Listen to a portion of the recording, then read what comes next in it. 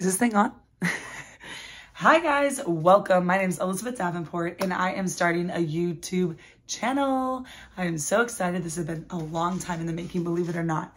And I am so happy to finally be here. So ignore my voice a little bit. Um, I do have a little bit of a sore throat that will go away in time, but I still wanted to show up and make this video.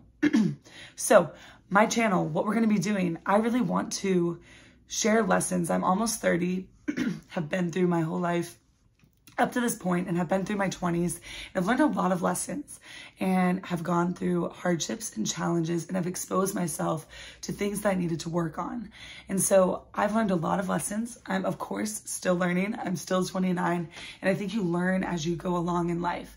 But I want to share the lessons that I've learned with you, but also information. So there's certain information, right, as you grow up and you have to start taking charge of your finances and you are an adult and you have a real job and you have to start making these real life decisions about what to do. I'm a wife, I'm a stepmom, I'm a mom, and you know, I want to thrive. I don't want to just go along with the daily life. And, you know, I really care about being healthy and happy and at peace within myself. And so that's going to look different for everybody, right? And this channel and me, we might not be for you, and that's totally okay. I just wanted to come on. I feel like there's so much information out there and that can help people and there's so much information in people that you can share. And so that's my goal. I want to be able to share with you and find the community of people that need each other.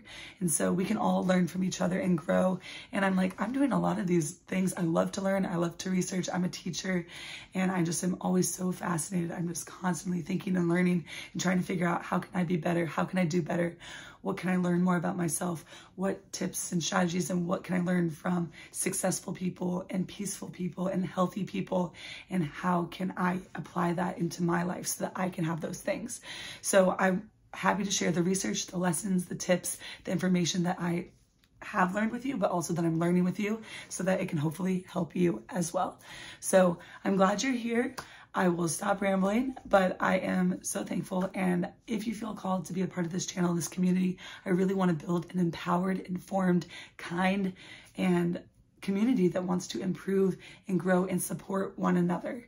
And so if that sounds like you and if that feels like you, feel free to join. We'd love to have you here. So thank you so much. My name is Elizabeth and I will see you in the next video.